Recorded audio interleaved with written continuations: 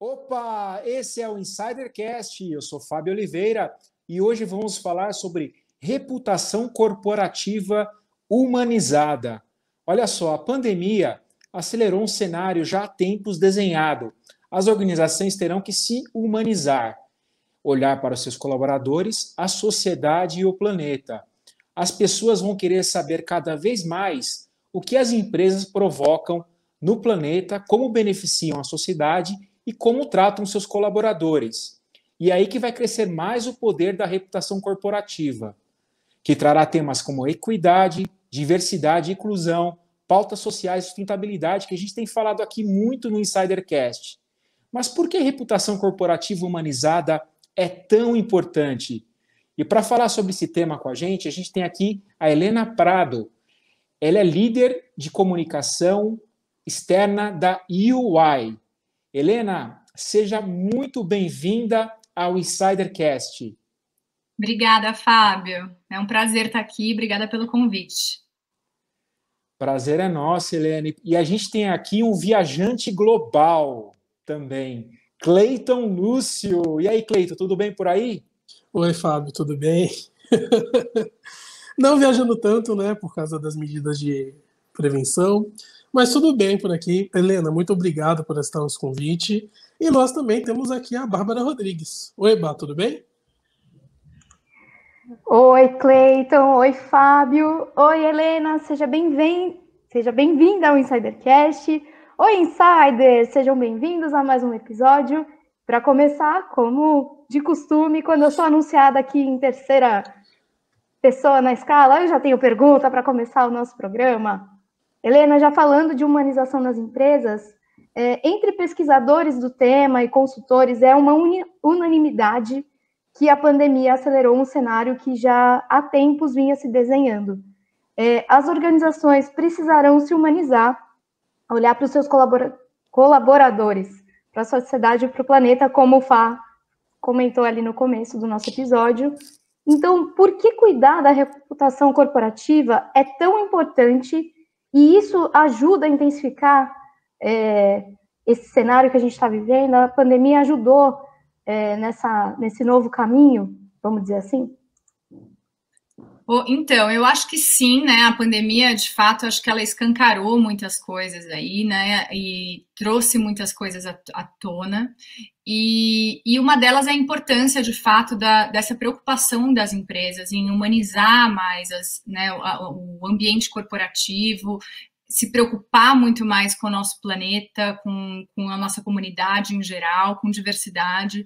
Eu, na UI, né, eu, eu, na verdade, a UI é uma empresa que ela já se preocupa muito com isso, né, então o, o, o nosso propósito é construir um mundo de negócios melhor, né, para as nossas pessoas, para os nossos clientes e para a comunidade. Então, isso já está no DNA da, da UI fazer isso, né? Então, para a gente, o que, como já era uma empresa muito preparada para para lidar com, com, com, questões né, que são mais ligadas à, à diversidade, inclusão, sustentabilidade, enfim, eles já, tá, já vinham fazendo isso há muito tempo, é, para a gente foi, na verdade, uma evolução do que a gente já estava construindo. Né? Então, eu imagino que as empresas que já já tinham isso no seu DNA, que já estavam caminhando para um, um, um ambiente mais humanizado, que elas, elas de fato, elas conseguiram, é, antes, antes de todo mundo, né, conseguiram é,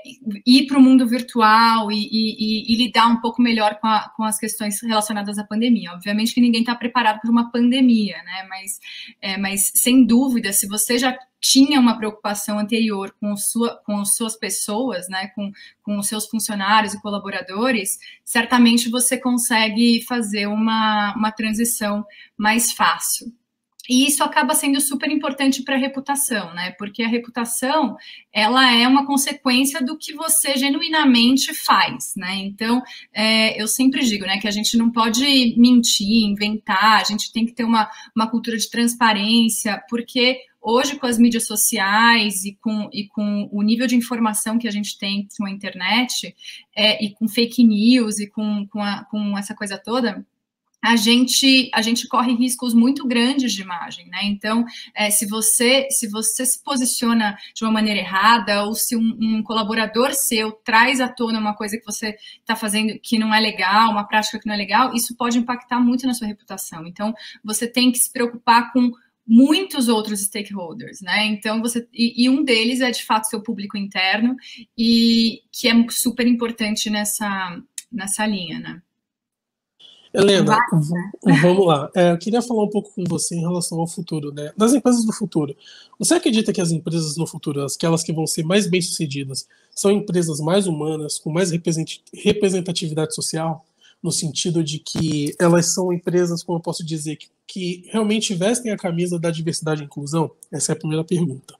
A segunda é: você acredita que essa cultura mais diversa, através da diversidade e inclusão, ela pode ser usada de maneira estratégica dentro da empresa? Essa é a segunda pergunta. Desculpa, mas eu vou ter que fazer uma pergunta aqui. É, e como essa diversidade e inclusão é, causa impacto na reputação das empresas? E a última pergunta é: como a gestão de reputação é trabalhada na UI? Tá, vamos lá então. É, bom, primeiro relacionado à diversidade e inclusão, eu acho que sem dúvida as empresas que se preocupam com esse tema e que já estão adotando as melhores práticas né, em relação a esses temas, elas saem na frente. É, tanto as, as, empresas mais maduras, elas já vêm fazendo isso e a gente vê a diferença né, de como esse assunto é tratado hoje do que era há alguns anos. E, e, e, certamente, assim, né? A gente vê em times. É, eu tenho, eu trabalho com times muito diversos, né? Então é a UI é muito preocupada com isso e, e eu sempre tento trazer no meu time a diversidade e eu já e, e, é uma coisa muito notável, né? Que você você vê o quanto que você consegue se colocar no lugar do outro quando você tem times diversos. Quando você tem times que não têm diversidade, você acaba pensando sempre por uma mesma ótica. E a comunicação, ela precisa ser, ser é, entregue, vamos dizer assim, por várias óticas, né? Você precisa se comunicar com diferentes públicos sobre, sobre diversas per perspectivas. Então, quando você não é, quando não é o seu lugar de fala em determinados, em determinados públicos, é muito mais difícil você fazer uma comunicação que acerte. Né? Então, quando você tem essa diversidade, você consegue de fato fazer, porque você consegue trocar mais, você consegue entender mais. Então, eu acho que isso para times de comunicação, especificamente, que eu estou falando aqui, eu acho que é fundamental. E acho que isso vai também escalando para o restante da empresa. Né? Então, a gente vê que quando você tem líderes é, diversos, é, você, tem um, você tem uma troca também muito maior. Né? Então, é, eu participo de diversos grupos assim de, de liderança feminina e, e empreendedorismo feminino, e a gente vê realmente a grande diferença que faz quando você tem nas lideranças, você tem mais mulheres, né? Porque você consegue entender o lado do outro. Eu acho que o principal é de fato assim, você tem, você consegue ter mais empatia pela outra pessoa e você consegue propor políticas melhores e, e, e, e políticas que incluam de verdade as pessoas e, com, com, base nisso, né? Então, quanto mais diversos os times, mais você consegue trazer essas questões à tona e consegue, de fato, colocá-las para discussão e implementar práticas que funcionem. Então, eu acho que em relação à diversidade e inclusão, certamente. É, a segunda pergunta era sobre como que isso é, impacta na reputação, né? Então é bom. Hoje a gente é muito cobrado, né? Como as empresas elas estão sendo muito cobradas por um posicionamento e elas são muito cobradas pelo que elas de fato tão, estão fazendo. Os públicos hoje eles, eles não, não aceitam mais que você que você fale alguma coisa que você não está fazendo de verdade, praticando de verdade. Né? Eu sempre digo que se você não está de fato atuando né, ativamente para uma inclusão, inclusão de determinado público, é melhor que você não se posicione em, é, em, relação a isso nas suas redes sociais ou publicamente, enfim. É melhor que você não se posicione, até você de fato ter isso muito bem, muito bem estruturado, né? Então, então, eu acho que certamente impacta. A gente viu muito com Black Lives Matter, né, o ano passado, o quanto que as empresas entraram nessa discussão e, e, tentaram se engajar nisso, e se engajaram, várias empresas se engajaram de fato e criaram políticas a partir da, dessas discussões. Mas a gente também viu muita empresa que se posicionou e que o público foi cobrar, mas o que, que vocês estão fazendo em relação a isso? Né? Quais são as políticas que vocês têm? Quantos, quantos negros vocês têm na liderança? Então, é, ninguém aceita mais apenas o discurso. As pessoas querem ver de fato o que você está fazendo. E se você não estiver fazendo, de fato, você vai ter um, você vai ter um problema de reputação que pode ser bastante sério. Então, acho que, enfim, eu acho que é super, super importante. Em relação à, à maneira que a UI faz essa gestão de reputação, é, a gente tem, a gente tem, né, no nosso, o nosso propósito é o mundo, a construção de um mundo melhor, de um mundo, de um mundo de negócios melhor para as nossas pessoas, clientes e comunidades. Então, a gente já parte do princípio que a gente é, trabalha trabalha para um bem maior, né? E, e, as nossas lideranças são muito engajadas nisso. Então, eu acho que a primeira coisa é a gente ter um propósito claro e a gente tem pessoas realmente engajadas nesse propósito, que vão atuar de acordo com ele. O que já minimiza muitos riscos né, de, de, de reputação, porque é uma, é uma realidade, né, não, é uma, não é uma falácia. É, eu, em segundo lugar, a gente tem valores muito claros. Então, quando você tem valores muito claros, você também consegue é, se comunicar melhor com as pessoas que estão inter, internamente na sua empresa e elas conseguem passar as mensagens corretas, porque elas estão realmente engajadas nos seus valores e atuam de acordo com eles. E também ética e transparência, que é fundamental, né? Uma cultura de transparência, de ética no trabalho. É, a, a UI se preocupa muito com isso. E, e aí, para você conseguir escalar isso, certamente você precisa ter treinamentos, ter processos, ter, ter, é, ter políticas que, que, que deem a orientação necessária para as pessoas para que elas consigam atuar de acordo com o que são as suas premissas. E a UI faz isso muito bem. A gente tem a maior universidade corporativa do mundo, é uma das melhores do mundo, com várias parcerias. Então, assim, são muitos treinamentos, tanto de, de hard skills como soft skills, relacionados à nossa, à nossa cultura também. Então, a gente, a gente vem fazendo um bom trabalho em relação a isso. E a gente tem líderes muito engajados, né? Porque não adianta você também ter políticas e propósito e etc., e você não ter líderes que estão verdadeiramente engajados é, com aquilo. E esses líderes, eles conseguem inspirar e conseguem transmitir é, as nossas mensagens e os nossos valores para todos os funcionários. E é dessa maneira é, a gente consegue construir uma boa reputação. Então, eu acho que, resumindo, eu acho que a, a resposta para essa pergunta é de como a gente gerencia essa reputação é, é, fazendo de fato o que a gente prega. Então, assim, o que a gente defende, a gente realmente faz. E por falar em reputação, Helena, uma coisa muito interessante é a questão da atração e retenção dos talentos. A gente tem visto é, as empresas cada vez mais se posicionando em comunicação externa, nas redes sociais, enfim, para mostrar o seu valor, o seu propósito. Foi-se o tempo, na minha época, quando eu acessei meu primeiro emprego, fui office boy, que eu colocava o currículo embaixo do braço, ia lá na 7 de abril, no centro de São Paulo, para distribuir o currículo como um panfleto. Hoje você tem acesso a muito mais informação e sabe né, exatamente qual empresa você pode escolher. E o mesmo vale para quem está dentro da empresa, né? para a retenção de talentos. A pessoa sabe se aquele lugar é para ela ou não, já com, com todo o trabalho que é feito de comunicação interna também das empresas. Helena, você acredita que com esse trabalho de humanização, feito tanto para a parte de dentro da empresa quanto para fora, ela também acarreta em uma maior retenção desses talentos e atração de talentos também? Sim, com certeza. É, eu trabalhei bastante com marca empregadora já, e, e você não constrói uma marca empregadora forte se você não está fazendo aquilo que você também está dizendo para fora, né? Se você não está fazendo isso dentro, se você realmente não está fazendo isso. E, e é super importante a marca ser, a marca, eu falo a marca, mas é a empresa, né? A empresa ter, ter ações humanizadas e realmente ser, ser humanizada.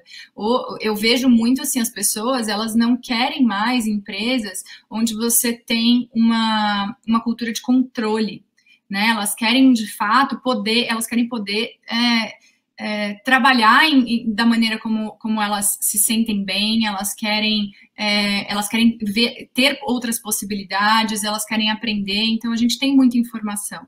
Então, é muito importante a empresa saber lidar com esse, com esse momento, né? Então, e não adianta a gente, a gente ter uma cultura de controle. Então, hoje em dia, a gente precisa de fato humanizar, precisa olhar para olhar o bem-estar do, dos funcionários, para que isso reflita o externamente, né? Porque senão não é não é apenas contar como você é, não é apenas você colocar algumas algumas coisas dentro da sua empresa, você ter comida de graça, não se trata disso, né? Se trata de fato de você respeitar as pessoas, você deixar muito claro para elas o que elas vão encontrar lá dentro, elas terem muito respeito, né, por você, aliás, os, as lideranças terem muito respeito pelas pessoas e enfim, e para a gente conseguir construir um ambiente saudável, um ambiente humanizado, um ambiente de escuta, é, principalmente com as redes sociais, né? Que é o que eu estava falando um pouco na, na, nas outra, na outra resposta.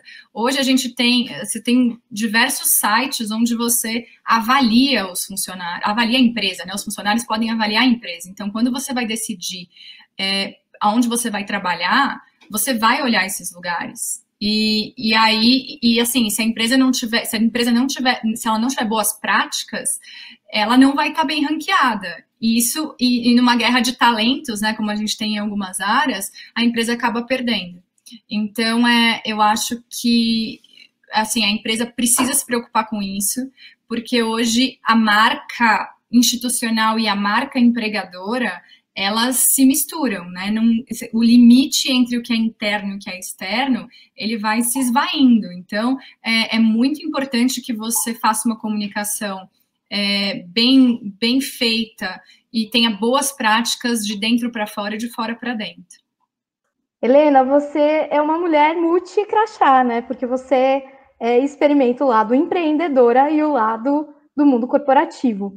É, eu queria saber de você é, como que você enxerga essa possibilidade de a gente ter múltiplas relações entre trabalhar numa empresa, trabalhar num negócio próprio, é, ter esses diferentes formatos, essas diferentes, é, como é que eu posso dizer, esses diferentes chapéus ao mesmo tempo. Você acha que é uma, uma possibilidade, uma, um novo normal, né, que a gente tanto fala hoje, que veio para ficar?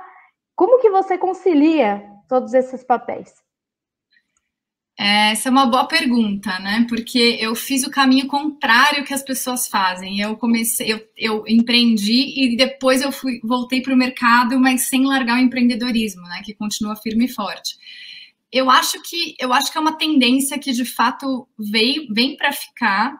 Eu ainda não vejo isso tão difundido, né? Principalmente entre mulheres, né? Fazendo muitas, então trabalhando numa empresa, tendo um negócio, eu vejo grandes lideranças tendo vários chapéus, é, mas eu acho que isso vai ser cada vez mais assim, né? Porque as pessoas querem, elas querem coisas diferentes, né? Então eu acho que para mim é, o, que, o, o, que, o, que, o benefício que eu tenho em relação a isso é muito aprendizado, muita troca, né? Porque o empreendedorismo, você às vezes fica.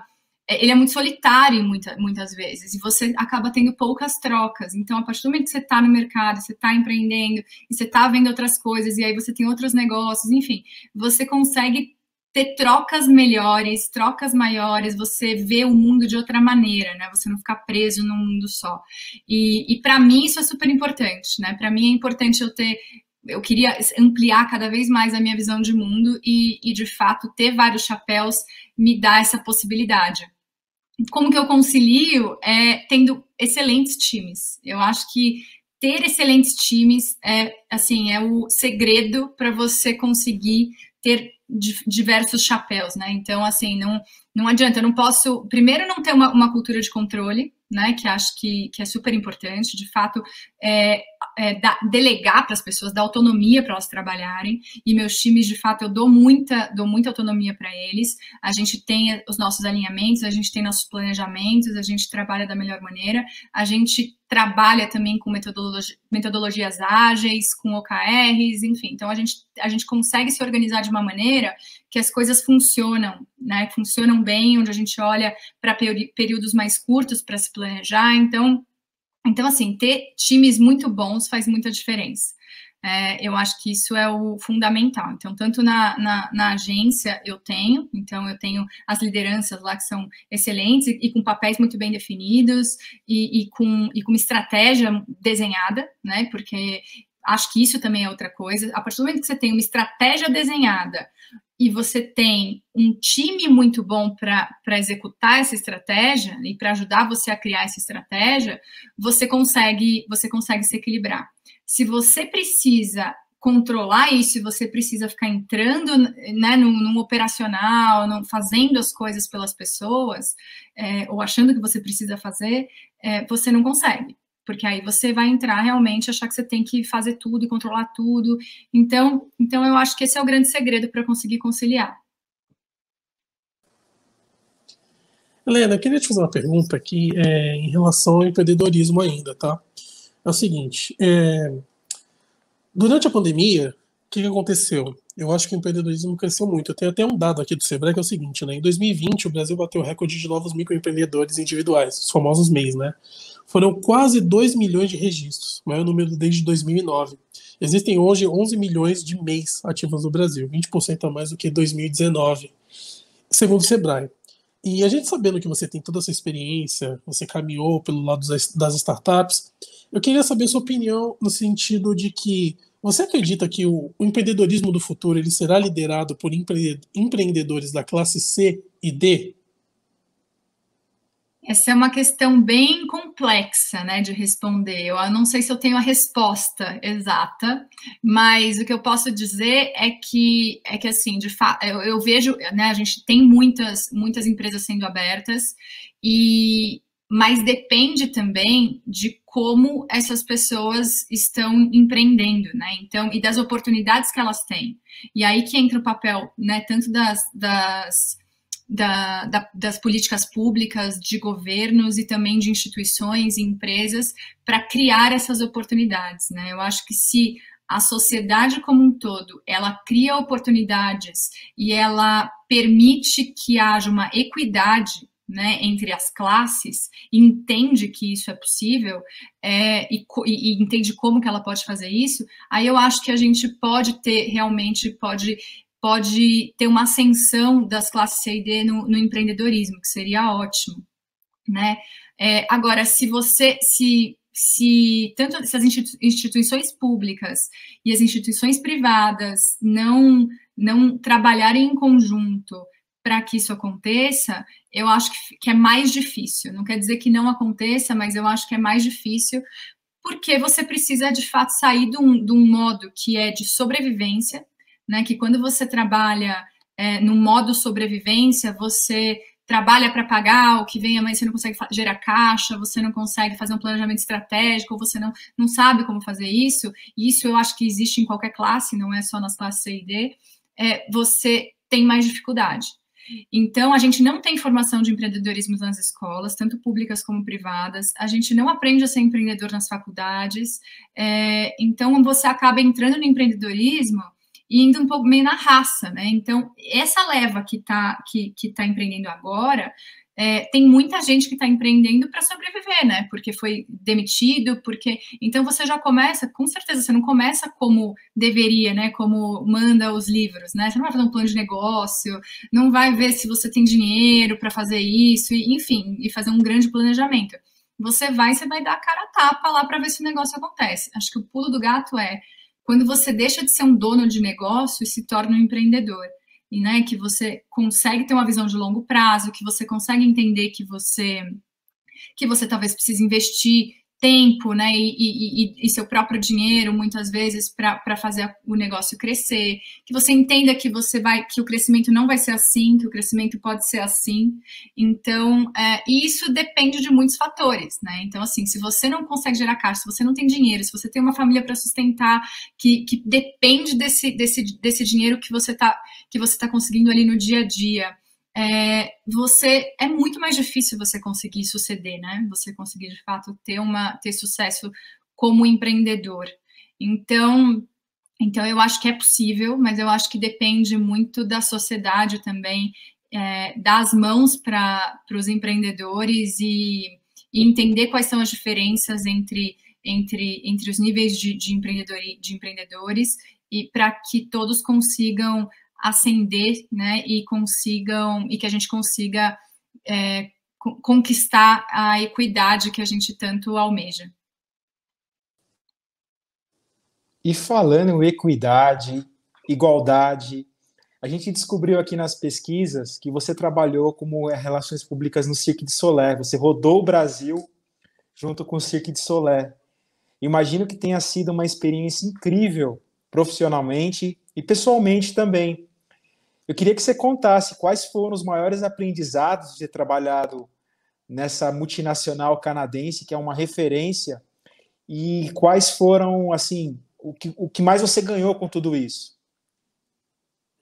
Olha, foi uma época muito boa da minha vida, assim, né? A gente, foi realmente um grande aprendizado. Eu trabalhei, eu fiquei em turnê com eles no Brasil durante cerca de um ano e meio. Eu trabalhava para uma agência que trabalha, que, que atendia eles. Eu fui para trabalhar exclusivamente para eles e, e foi um grande aprendizado, porque eu era bastante nova, né? Eu tinha 24 anos e, e, e eu tive que liderar mesmo todo o, pro, o projeto, né? O processo, enfim. A gente começou, o Circo ele trabalha com com pessoas de relações públicas, profissionais de relações públicas que são alocados nas turnês e que são contratados da empresa globalmente. Então eles vão para todos os países e em cada em cada praça, cada cidade, cada país que eles vão, eles têm um, uma pessoa de relações públicas local. E eu era essa pessoa, né? Eu trabalhava localmente. E e desde o começo foi um grande aprendizado, porque eu aprendi com eles Primeiro, como trabalhar com times muito diversos, com um ambiente pouco estruturado, né? Porque e com muita flexibilidade, muita autonomia, e como que a gente deveria ter a preocupação com a gestão da marca e da reputação, porque eles são muito preocupados com essas questões e eles gerenciam isso assim de uma maneira que é admirável e, e, e que parte de dentro, né? Que é um pouco do que eu estava falando também. Então, assim, parte de dentro para fora. Foi ali que eu entendi que a reputação ela é de dentro para fora, ela não é de fora para dentro. Então, se você tem times e funcionários que estão ali realmente engajados, né? Imagina, as pessoas elas dormem e acordam juntas. Você tem famílias, você tem famílias viajando juntas, é, com crianças em idade escolar, a escola viaja junto. Então, foi muito interessante ver como que eles gerenciam essas diferenças culturais, é, como que você consegue produzir melhor quando você tem é, pessoas muito diferentes para trocar e para conversar. E essa, e essa preocupação com a gestão da reputação, porque eles têm realmente, eles, eles têm regras muito claras em relação a isso, tem, tem, tem, tem muitos, tem, tem guias, né, para quando você, para os países que eles vão, para que nada é, saia do alinhamento que a marca tem. Então, eu aprendi muito lá a olhar os detalhes, porque de fato lá a gente olha os detalhes. Então, você tem, se a gente marcou três horas uma pauta e a gente trouxe, né? Você tá, você tá pegando um artista que trabalha à noite, né? E que tem seu, suas horas de treinamento, você tá tirando ele disso e você tá colocando ele para dar uma entrevista, a prioridade é do artista, é, ou seja, é do colaborador. Então, se você marcou às três e o jornalista chegou às três e meia, no circo não tem, não tem discussão. Eles, você não faz a entrevista, não importa para quem é. Então, é, então eu aprendi muito com eles o quanto você tem que valorizar seu, seu público interno e, e o quanto você tem que, de fato, é, você tem que abraçar a sua marca, né? Você tem que estar ali como uma, um defensor da marca mesmo né, para que ela continue uma marca forte. E isso passa por todo mundo, passa pela pessoa, pela, pelos profissionais de relações públicas que tem que fazer isso e tem que, e tem que ter uma boa relação com jornalistas e tem que organizar isso muito bem. E, e passa, e passa também pelas, pelas, pelas regras internas, passa pelo, pela maneira como você se comunica internamente, como você é, se organiza internamente, como você lida com as pessoas. Então, é, quais são os, os, os o, qual é o ambiente que você proporciona para aquelas pessoas. Então, é, eu aprendi muito isso, assim, quanto que a gente, como que você co consegue construir uma marca forte. E, e é com muito trabalho e com bastante dedicação e com um olhar é, muito humanizado é, para a organização. É, Helena, agora chegou a hora da gente conhecer quem é a Helena Prado, além da UI, além do empreendedorismo, além do cirque. A gente quer saber a tua história. Quais foram os desafios? É, como que a Helena chegou onde está hoje? Conta pra gente todo o bastidor, você que trabalhou com tantos bastidores ao longo da tua carreira, é, qual que é o bastidor da tua história? Conta para os insiders, para inspirar os insiders é, que querem ter uma carreira tão bem sucedida quanto a tua. É, minha história ela é, ela é de muitos altos e baixos, né? Eu vou tentar resumir aqui um pouco, né? Eu comecei a trabalhar super cedo, eu comecei a trabalhar com 14, 15 anos, porque sempre quis ter o meu, o meu próprio dinheiro, né? Meus pais são arquitetos, a gente nunca teve também muito dinheiro, então uma hora tinha, uma hora não tinha, então eu, eu nunca quis depender deles, né? E, e não podia também. Então, então eu acabei sempre querendo trabalhar para ter o meu dinheiro para ter as minhas coisas. Então eu comecei super cedo, eu trabalhava com eventos, eu vendia coisa na escola, eu vendia Avon, eu vendi Natura, eu, eu fiz tudo que vocês podem imaginar, né? E, e, e até fui, até que eu cheguei, até fui para Disney, né? Que eu fui ser fotógrafa, fui trabalhar de fotógrafa lá. E essa é uma história interessante porque para eu ir para Disney, eu, quando eu entrei na faculdade, eu, eu pensei, eu falei, bom, eu preciso aprender a falar inglês, né? Eu já sabia falar, eu entendia muito bem, lia, mas não conseguia falar direito. É, eu não tenho dinheiro para fazer curso de inglês. É, eu não, eu preciso ir para um lugar que eu tenha que eu trabalhe, porque eu também não posso ir para um lugar que eu precise, é, que eu vá lá ficar estudando e que meus pais têm que ficar me mandando dinheiro. Então, eu quando eu entrei na faculdade, eu me planejei para fazer o intercâmbio, né? Então eu passei algum dois, três, eu passei três anos trabalhando de final de ano de vendedora numa loja de shopping e fui juntando esse dinheiro, que era o dinheiro do intercâmbio. E, e aí, porque eu estudava tarde, né? Minha, eu estudei no Mackenzie e a, e a aula era tarde, então era difícil você fazer estágio. Então, eu fazia estágio, mas eu pegava dinheiro do estágio, eu fazia, continuava trabalhando com evento, então, assim, eu trabalhava em várias coisas, eu fazia muitas coisas para conseguir juntar dinheiro para fazer o intercâmbio e para viver também, né?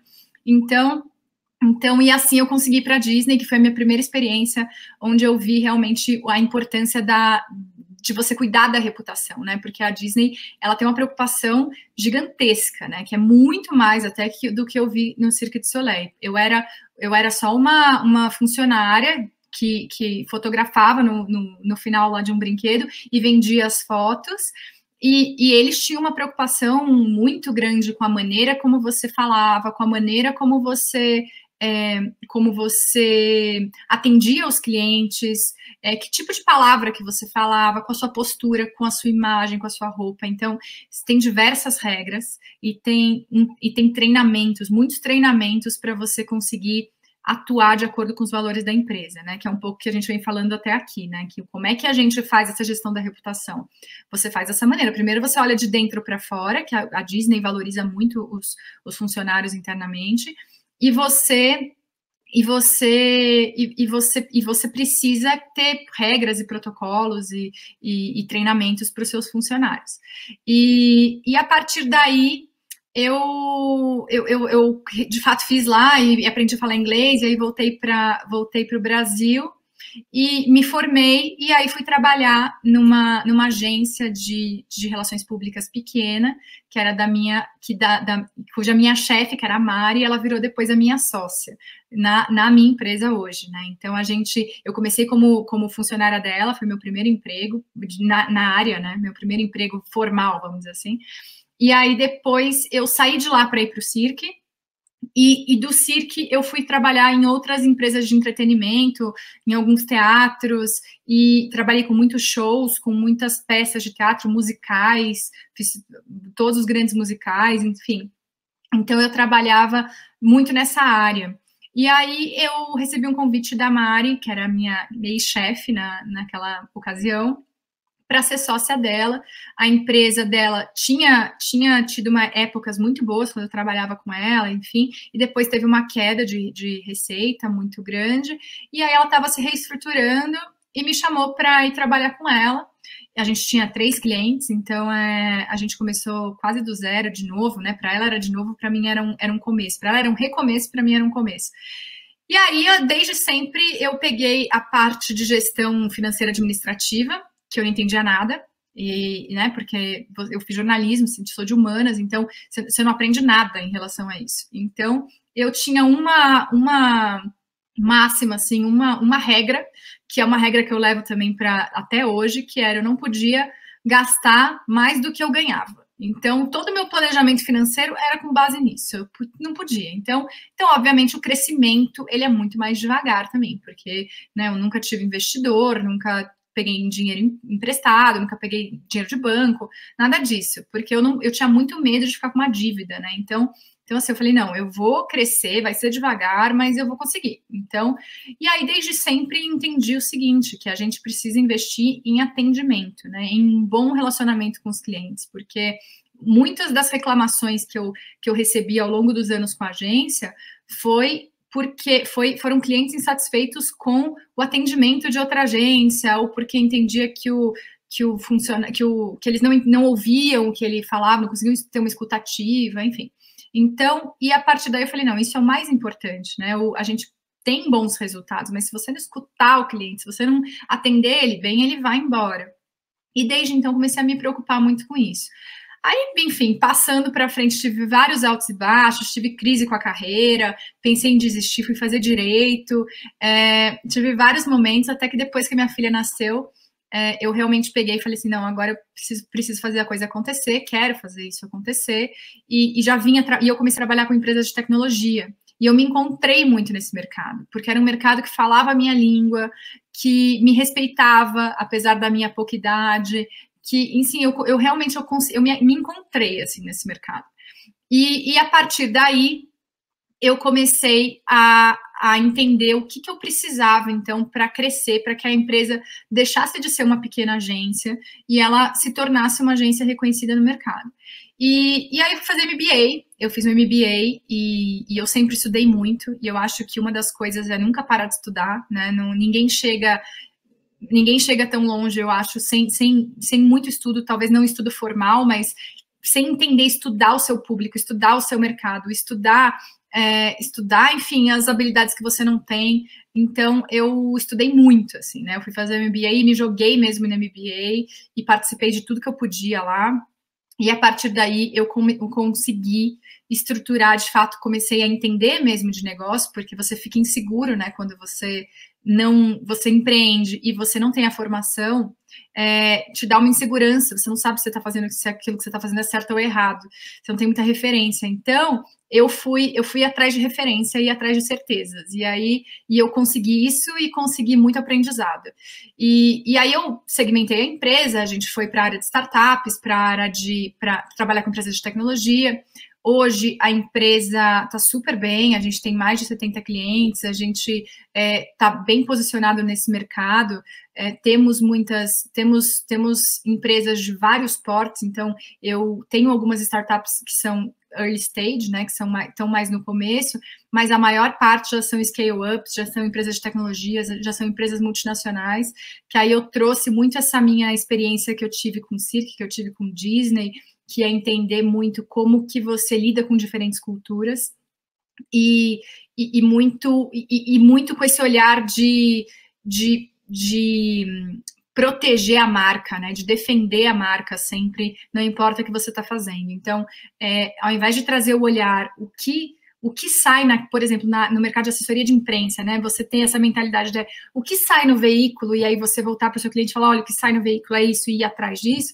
Na verdade, é você ir entender o que faz sentido para o seu cliente, faz sentido ele estar tá e, e o que faz sentido para o veículo. E aí você conseguir casar essas duas coisas. Então, é, na, nessas empresas que são muito preocupadas com reputação, muitas vezes, assim, é melhor você não sair do que você sair errado, né? Então, você sair com uma mensagem que você não quer.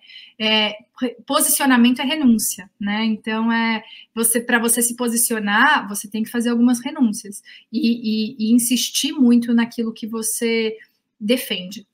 Então, assim, foi um crescimento lento. É, eu tive momentos também de baixa e, e, não foi não foi fácil, não foi fácil. Assim, realmente foram anos e anos e foi muito planejamento e muita dedicação e muito estudo. A gente, assim, eu acho que a virada mesmo foi quando eu consegui sentar, que é quando você sai da posição de dono do negócio e vai para a posição do empreendedor, né? Que você consegue desenvolver uma visão estratégica, uma visão de longo prazo e consegue fazer um planejamento bom, né? Então, assim, eu fiz um planejamento e eu fiz um planejamento onde eu estruturei, inclusive, o meu afastamento, né? O meu afastamento da operação, do dia a dia ali, porque era uma coisa que eu queria muito fazer. Eu ainda não sabia exatamente o que, então eu pensava em ter outros negócios, enfim, eu fui, fui tateando um pouco até descobrir o que eu queria. E mas eu preparei muito esse momento. Então não foi uma coisa que, né, que eu de um dia eu acordei e resolvi que eu ia me afastar da operação. Não, foi planejado e foi planejado desde o do início, né? Quando eu quando eu segmentei a empresa e fiz a marca de novo, enfim, a minha sócia saiu, né? Então a Mari, que foi a minha chefe, enfim, ela saiu, eu comprei a parte dela.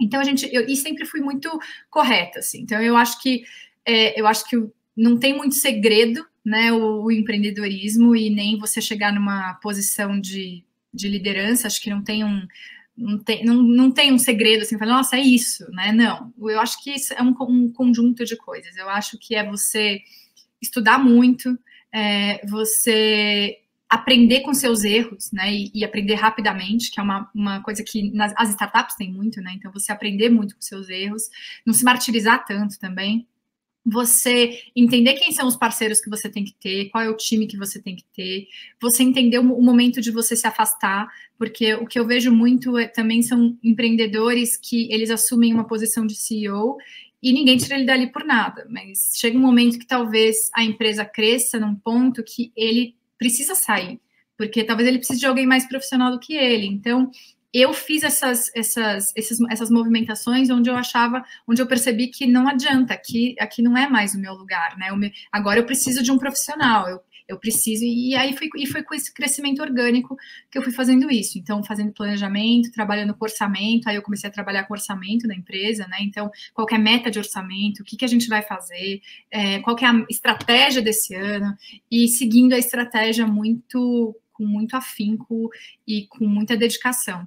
Né, e insistindo, persistindo, né? Porque às vezes dá vontade de desistir, muitas vezes nesse percurso, porque parece que não vai dar certo, porque você perde um cliente, porque você sai com alguém insatisfeito, ou porque um funcionário seu sai é, num, numa situação ruim e você precisa se, se, se reorganizar, enfim. Então, acho que tem muita tem muito tem muito percalço aí para no, no caminho, mas é um caminho que se você persistir e você entender para onde você quer chegar, é, fica muito mais simples.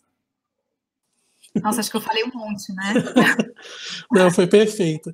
É, insiders, eu tenho que abrir um bastidor aqui, que é o seguinte, né? Eu acho que durante a gravação vocês perceberam que a iluminação dela estava diferente.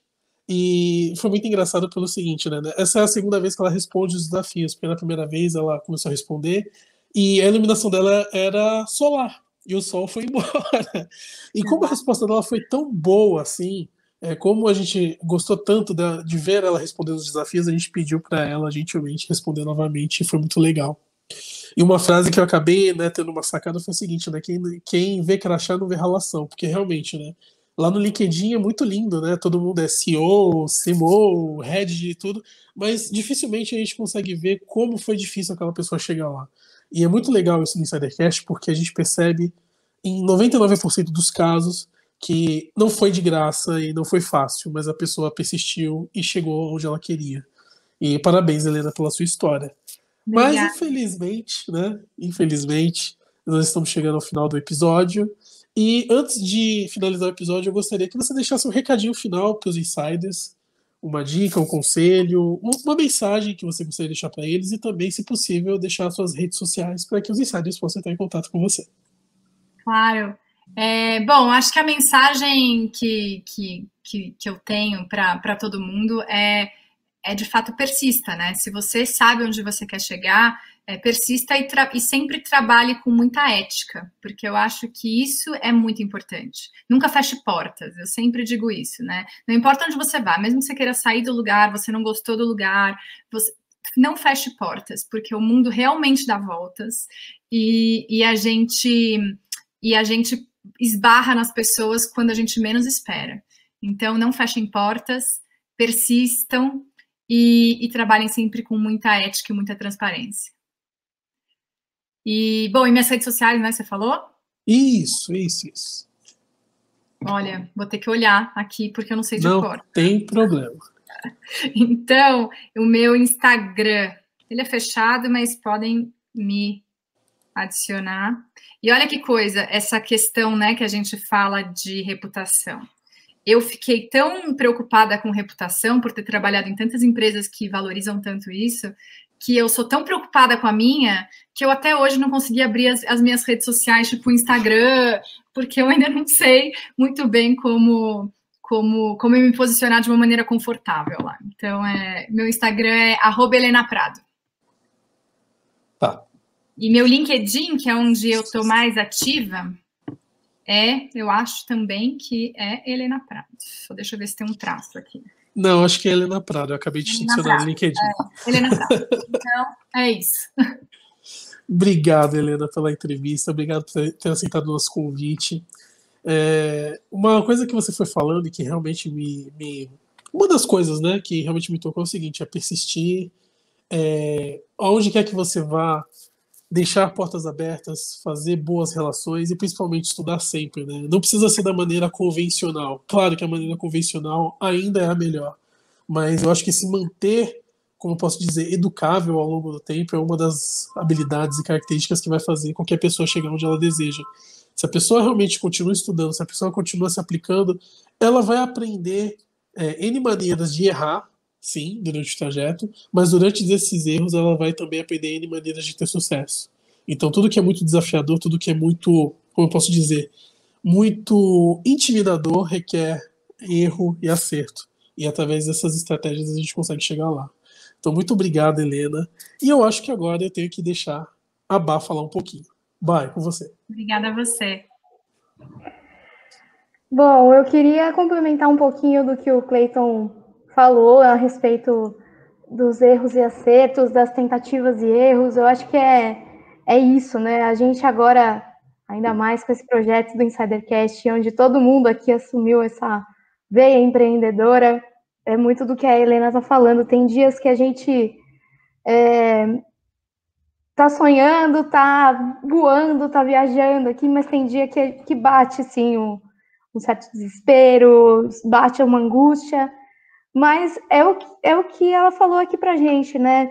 É não desistir, é persistir, saber que o mundo, mais do que um ovo, ele é uma ervilha de tão pequeno, né? Que é, a gente pode cruzar o caminho novamente de uma pessoa e aquela pessoa fazer tudo mudar, né? Como eu já contei algumas vezes, nós já contamos algumas vezes aqui no Insidercast, é, o Fá já tinha cruzado meu caminho há anos atrás como meu cliente, hoje ele é meu sócio, um pouquinho parecido com a história da Helena aqui. E é isso. Tem dias, fazendo até uma analogia né, com o que aconteceu aqui com o nosso vídeo, tem dias que o sol está brilhando lá fora, lindo, maravilhoso, a imagem uhum. perfeita. E às vezes ele vai sumindo, vai escurecendo, mas aí a gente acende a luz e está tudo resolvido, volta tudo a brilhar. Então, é, eu acho que a vida do empreendedor é um pouco isso, saber que um dia o sol vai estar tá brilhando, no outro dia vai estar tá chovendo, mas está tudo bem que no final aparece o arco-íris e está tudo certo. Acho que é isso. Vá, é com você. Obrigada, Cleiton. Obrigada, Helena. Obrigada, Insiders. E a gente se encontra no próximo Insidercast. Até lá. Opa, Bah, retomando aqui minha nave, eu queria agradecer a Helena por todos esses, esses ensinamentos, por contar a sua história, compartilhar com os insiders Queria agradecer o Cleiton também, a Bárbara, por participarem aqui desse Insidercast. Queria agradecer aos insiders, queria deixar um insight final que ficou muito claro nesse bate-papo que o mais importante é a humanização. Tudo começa de dentro para fora. Né? As empresas, às vezes, elas tentam, muitas vezes, não, não atender o seu próprio cliente interno, que é o colaborador, pensando só para fora. Né? Mas a reputação, como a Helena disse e mencionou muito das suas respostas, começa de dentro para fora, até nos exemplos que ela trouxe, né? no Cirque de Solé, na própria Disney, que é um exemplo de, de organização. E por falar em Disney, o foco no cliente, né, que a Helena também comentou na sua resposta sobre desafios. Hoje, todas as, as, as prestações de serviço, seja de serviço e produto, têm que ser focadas no cliente. E ficou um grande insight em todas as respostas que a Helena passou na, no nosso debate. Fiquei muito contente em ouvir a história da Helena, fiquei muito é, inspirados. Imagino que os insiders também estejam muito inspirados com toda essa história. E sou muito grato por estar junto com vocês aqui, insiders, e, e ouvir to, todos esses ensinamentos.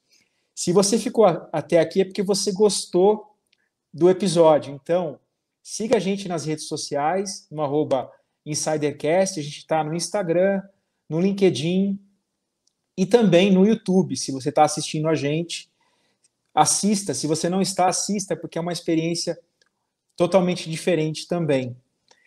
É, eu vou ficando por aqui e, e espero vocês num próximo episódio. E fui!